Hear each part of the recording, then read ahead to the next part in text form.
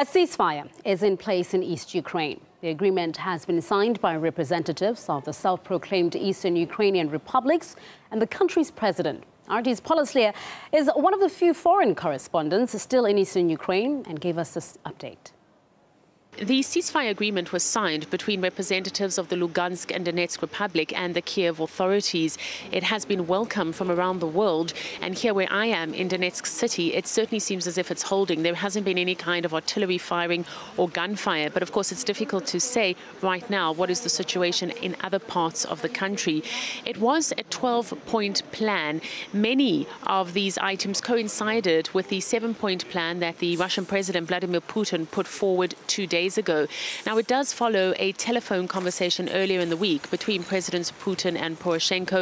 Both leaders at that stage agreed that they were on the same page in wanting a ceasefire to come about and also in terms of how they saw it happening.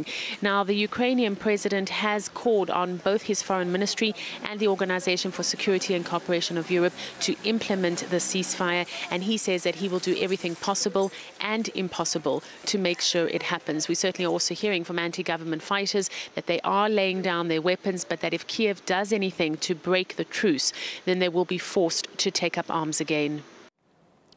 Here are the main points of what the two sides agreed upon. First is the immediate cessation of fire. Now, they've also said all heavy machinery will now be pulled back from the front lines. And an exchange of uh, all detainees, without exception, is expected to begin shortly. And last but not least, humanitarian aid to the devastated regions has been agreed upon.